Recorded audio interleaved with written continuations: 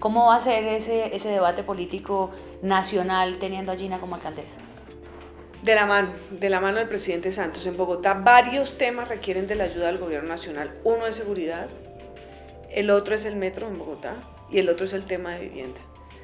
Bogotá en los últimos años lo que hacía es una plaza de vitrina de la oposición, que está muy bien que llegue o no llegue la oposición porque eso es lo democrático, pero ha sido el trampolín para después lanzarse a la presidencia de la República y eso nos ha hecho daño a los bogotanos, porque Bogotá no ha avanzado sino simplemente es una vitrina y así no funciona. ¿Cuál fue durante todo este trajín de campaña tan intenso como la, cuál fue la, rutina para mantener el ánimo, para mantener, para mantener la salud, para mantener el, la voz?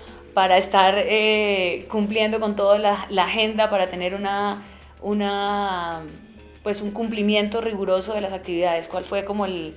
el María Alejandra, cuando uno tiene un sueño que es transformar Bogotá, hacer de Bogotá una ciudad con crecimiento económico, que haya igualdad de oportunidades, ese sueño le da a uno mucha energía.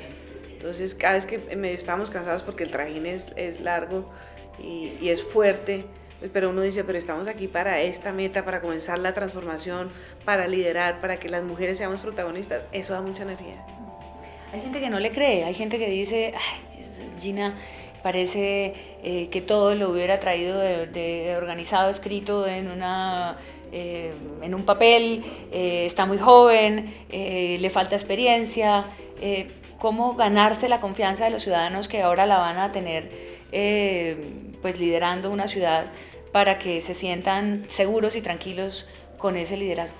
Yo creo que ese fue un miedo al principio de la campaña, pero, y seguramente porque llevan dos, dos años y medio sin verme, pero una vez comenzó la campaña y comenzamos a hablar con propiedad de los temas de Bogotá, comenzamos a enriquecer el, pro, el programa con las personas, eh, comenzamos también en la campaña a tomar decisiones valientes e importantes para, para Bogotá y para la campaña y para la política, yo creo que ese miedo se dispersó. ¿Qué va a hacer Antanas Mocus ahora en la alcaldía? Antanas, lo que él quiera. Para mí, que siga siendo el gran jefe de una organización política a largo plazo. Para mí, que Antanas sea el gran líder de una organización política y que sea el de Cultura Ciudadana 3.0. ¿no? Nosotros llegamos a Cultura Ciudadana 2.0, ahora 3.0. ¿Cómo ha sido ese, ese contacto con Antanas? Es un personaje...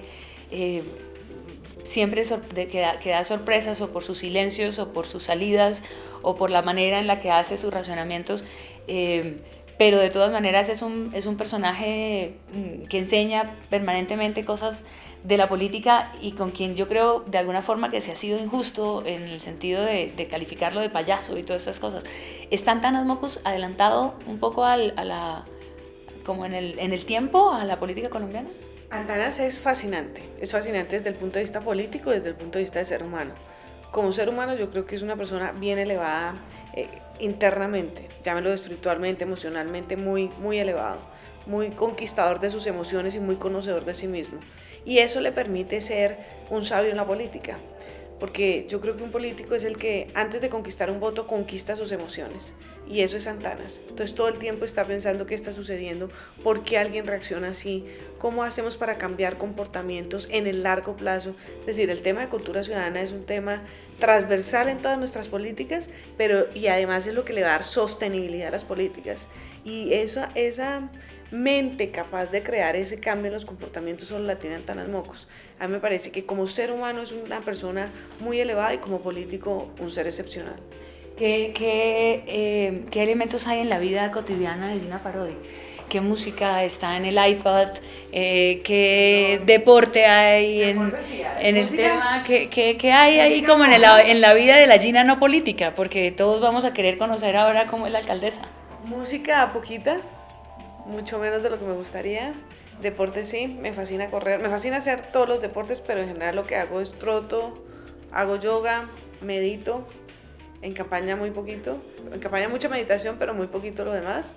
Es decir, creo que un día dije, bueno, listo, no vamos a correr más, vamos a correr en la campaña, pero no a correr pues eh, de ejercicio.